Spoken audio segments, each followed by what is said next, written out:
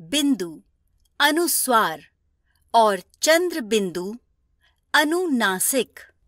आओ पहचाने, नीचे दिए गए चित्रों के नाम को ध्यान से पढ़िए। खंड क बंदर, झंडा, पतंग, डंडा। खंड ख सांप, ऊँट, चाँद, आँख। आओ जाने खंड क के शब्दों को पढ़ते हुए आपने देखा कि ध्वनि नाक से निकलती है, जबकि खंड ख के शब्दों को पढ़ते वक्त ध्वनि नाक और मुँह दोनों से निकलती है। खंड क के शब्द बिंदु शब्द अनुस्वार वाले शब्द कहलाते हैं। अनुस्वार का चिन्ह है बिंदु। खंड ख के शब्द चंद्र बिंदु अनुनासिक वाले शब्द कहलाते हैं।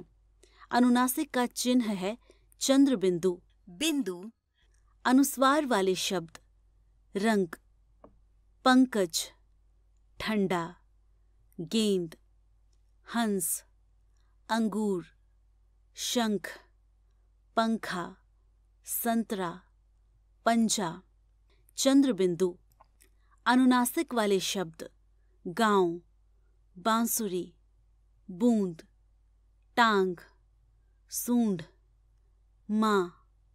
दांत अंगूठा बाँस अंगूठी।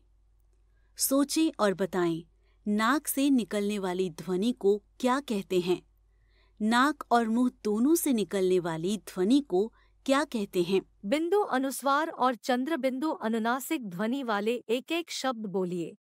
चंद्र बिंदु अनुनासिक का चिन्ह कैसा होता है? हमने सीखा जिन वर्णों की ध्वनि नाक से निकलती है, उन्हें बिंदु अनुस्वार वाले शब्द कहते हैं। बिंदु अनुस्वार का चिन्ह बिंदु है। जिन वर्णों की ध्वनि नाक और मुँह दोनों से निकलती है, उन्हें चंद्र बिंदु अनुनासिक वाले शब्द कहते हैं।